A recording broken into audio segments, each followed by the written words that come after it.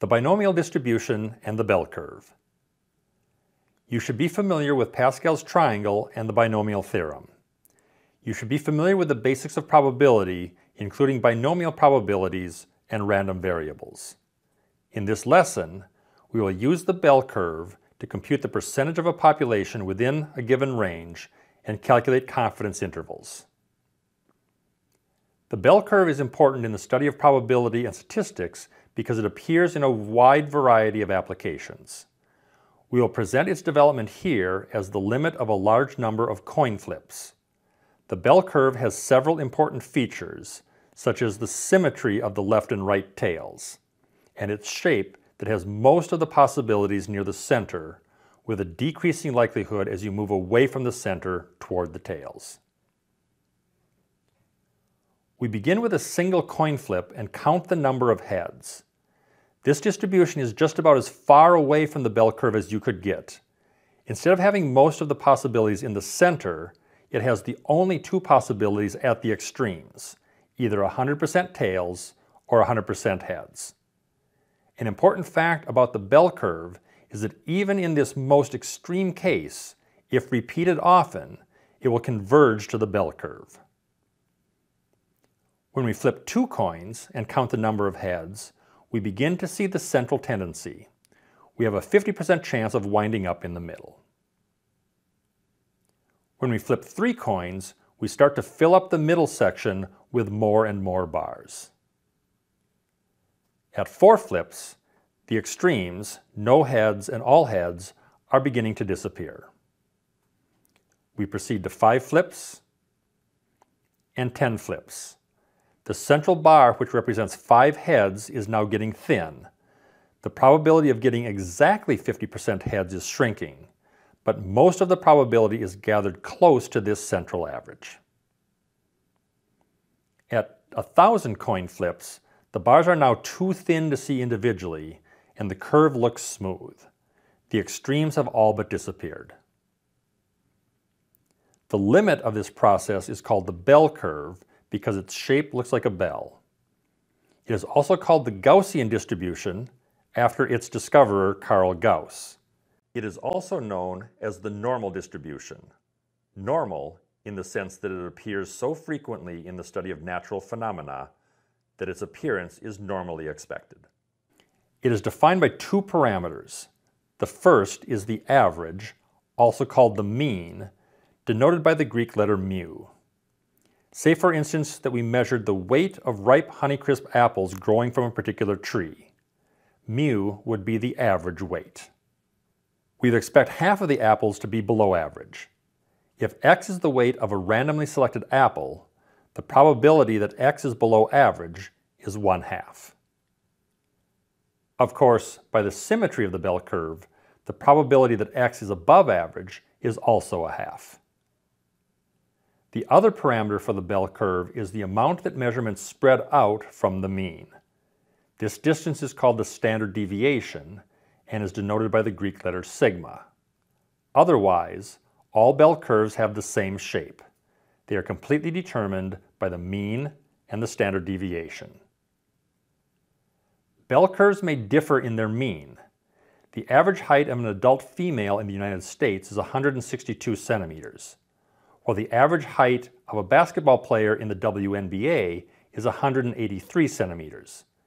The WNBA heights have their mean value shifted to the right. It is possible for two bell curves to have the same mean, but to be different because one has a smaller standard deviation, making the bell thinner. Once the mean and standard deviation are known, every bell curve has some standard values. 68% of the population falls within one standard deviation of the mean. If we include the left tail, 84% of the population falls below one standard deviation above the mean. This implies that the remaining 15.87% of the population is more than one standard deviation above the mean. By symmetry, 15.87% of the population falls below mu minus the standard deviation. These values come from the standard bell curve, also called the standard normal distribution. The standard normal distribution has a mean of 0 and a standard deviation of 1, so that the value being looked up is the number of standard deviations above the mean. For bell curves with other values of mu and sigma, we can convert to the standard normal distribution by computing the z-score. The z-score is the number of standard deviations above the mean. To compute the z-score, subtract the mean from the measured value x. This will give you the amount that x is above the mean. Divide that amount by the standard deviation, and z is the number of standard deviations above the mean. For example, perhaps we wish to know the percent of the American adult females that are shorter than 148 centimeters. The mean is 162 centimeters, and the standard deviation is 7 centimeters. 148 centimeters is 14 centimeters below the mean, which is 2 standard deviations below the mean. The z-score is minus 2. Many sources have tables for the standard normal distribution. To each z-score is associated the probability that a randomly chosen member of the population is below that z-score. For example, 2.275% of the population is below a z-score of negative 2. As we would expect, the fraction of the population that is below z equals 0, which is the fraction of the population below average, is a half. Here's the other half of the table for positive z-scores. Many sources only give this half, ignoring the negative half, which can be found by using the symmetry of the bell curve. Let's return to the height example. What fraction of the population is shorter than 148 centimeters? First, we compute the z-score. Then we look up the probability in the table based on the z-score. Here's another example. First, we compute the z-score for the value x equals 14. 14 is 0.6 standard deviations above the mean of 11. We then use the table to find the percent of the population below the z-score of 0.6. The table only gives the population below the line. However, we weren't asked about the value below 14. We wanted to know the probability of x being above 14, which is the portion of the population that is not below 14.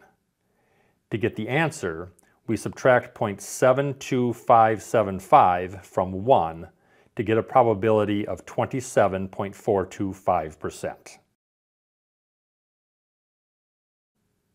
A related idea is that of a confidence interval. We begin with a set percent of the population that we want to include, then work backwards to the measured values. Most of the population is in the middle. We wish to chop off the tails by finding upper and lower bounds. We typically choose an interval which is centered on the mean. So to include 95% of the population in the interval, we wish to chop off 2.5% from each tail. The z-score of negative 1.96 corresponds to 2.5% of the population below that cutoff. So an interval with z-scores between negative 1.96 and 1.96 will include 95% of the population. We need to convert that z-score back to the actual values. The lower bound should be 1.96 standard deviations below average, which would be at 80.4. The upper bound should be 1.96 standard deviations above average, which would be at 119.6. Therefore, the confidence interval that contains 95% of the population runs from 80.4 to 119.6. These are the standard z-scores for the common confidence intervals. Here's another example. We wish to design a bicycle that is adjustable so that 99% of the adult female population can ride comfortably. The z-scores for the 99% confidence interval are plus and minus 2.576 standard deviations from the mean. We will be very close to 99% of the population being able to ride our bike if it adjusts from 144 to 180 centimeters. Here's a final example.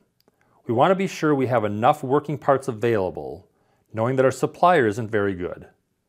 On average, a shipment will have 700 working parts, but there's variability. We wish to find an interval that covers 90% of the shipments. The z-scores for the 90% confidence interval are plus and minus 1.645 standard deviations. So we find the values that are 1.645 standard deviations of 14.5 from the mean of 700. 90% of the shipments will have between 676 and 724 working parts.